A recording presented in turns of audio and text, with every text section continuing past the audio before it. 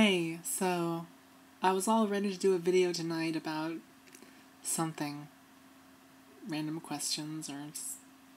whatever was on my mind, and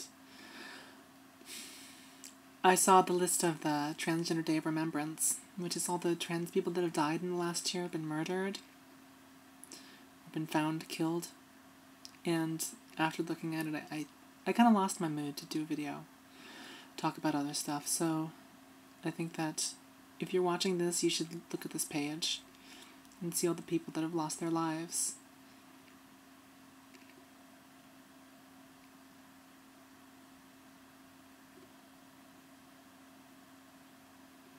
I guess it's the least I can do, you know?